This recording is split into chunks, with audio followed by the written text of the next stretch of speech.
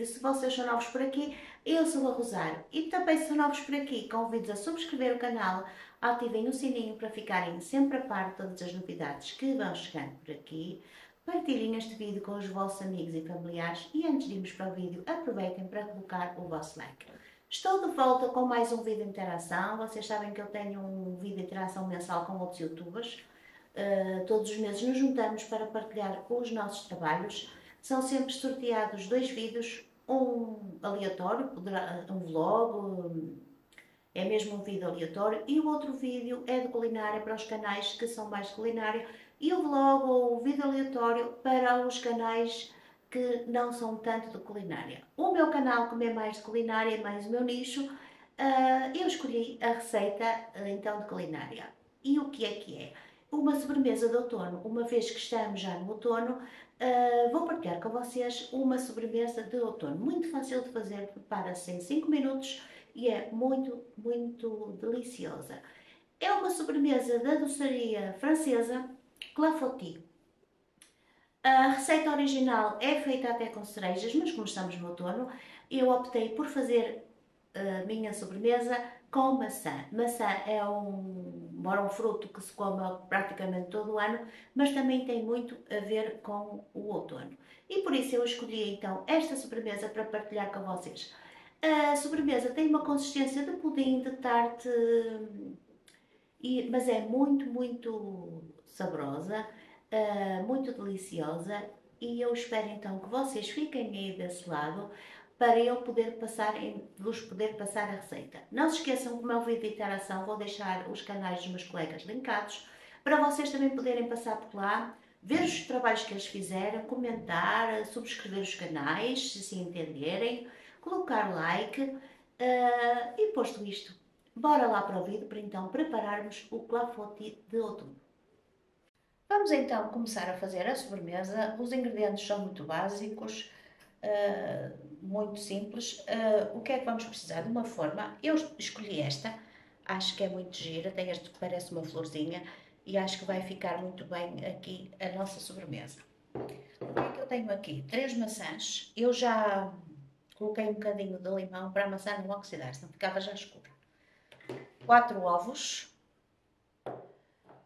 três quartos de chávena de farinha, esta por acaso não tem fermento, 3 quartos de chávena de farinha de açúcar, de farinha, 3 quartos de chávena de açúcar e uma chávena de leite. A medida de chávena de uma chávena é 250 ml e a outra é então os 3 quartos de chávena.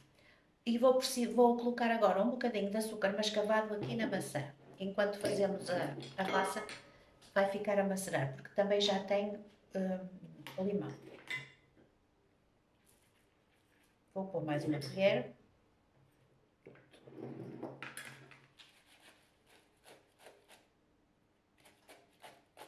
Eu estou a colocar três maçãs, elas não eram nem muito pequenas nem muito grandes, eram médias. Se vocês tiverem só maçãs grandes, podem pôr duas. Ou se as vossas maçãs forem muito pequeninas, podem pôr quatro. Eu, por acaso, estas como são médias, um, pus só três. E agora vamos fazer, então, a massa. Uh, vou colocar aqui, ah, já tenho o forno 180 graus. Vou colocar os ovos, o açúcar, mexer.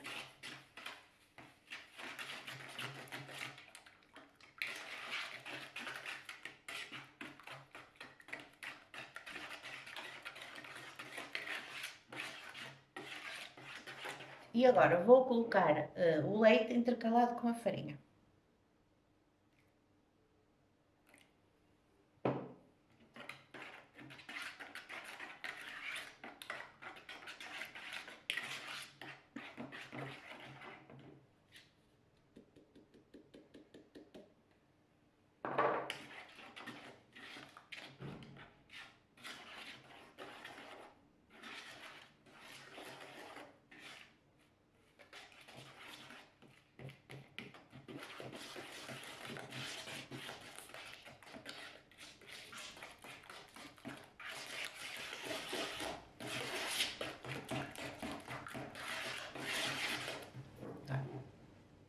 Resto do leite. Eu estou a usar leite meio gordo que eu aconselho de facto a usar o meio gordo, mas se preferirem magro, podem usar. Mas o meio gordo vai lhe dar outra consistência. Se preferirem, podem usar gordo mesmo. Agora vou colocar o resto da farinha.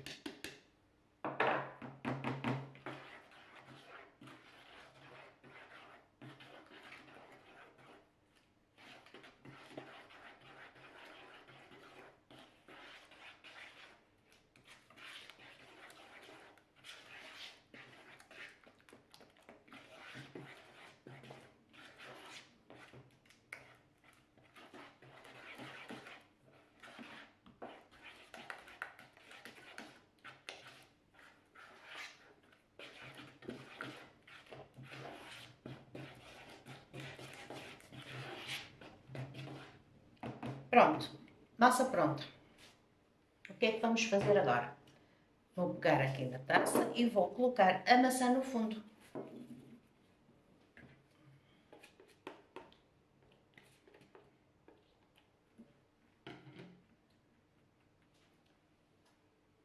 E agora vamos colocar então este preparado em cima da maçã.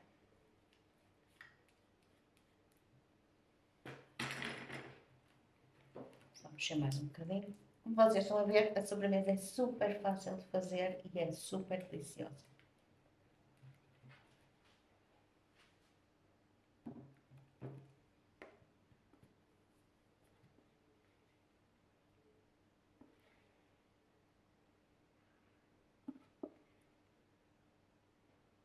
Automaticamente a maçã sobe, não sei se conseguem ver, e agora, o que é que vamos fazer? Vamos levar, então, a nossa sobremesa ao forno a 180 graus, 30 a 35 minutos. De forma a que não fique demasiado cozido, porque senão perde a consistência de clafoutis e passa a ser um bolo qualquer. E não é isso que pretendemos, até porque, como já vos disse, esta sobremesa tem a consistência de pudim, de tarte e um bolo mal cozido. Uh, mas é mesmo assim, uh, a receita é mesmo assim. Portanto, vamos uh, nos 30 a 35 minutos, ou se precisarem de mais, depende de forno para forno. Depois aconselho-vos também a fazer o teste do palito. Temos então a nossa sobremesa pronta, o nosso clafoutis está muito bonito. O que é que eu vou fazer? Vou colocar um bocadinho de açúcar em pó para ficar uh, mais bonito.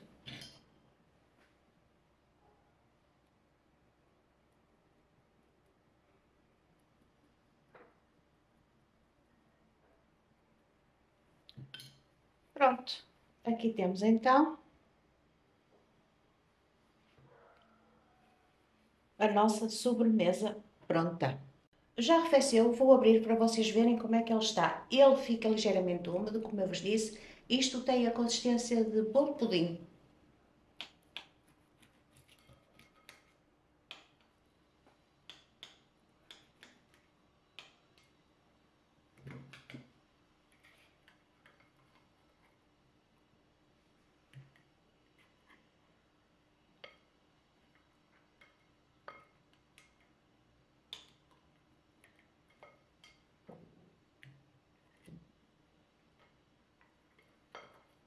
Tirar um bocadinho de maçã.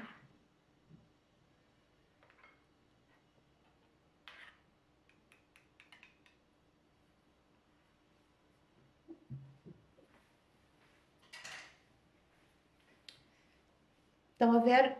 Aqui tem consistência de pudim, está crocante por fora e bastante úmido por dentro, como se pretende.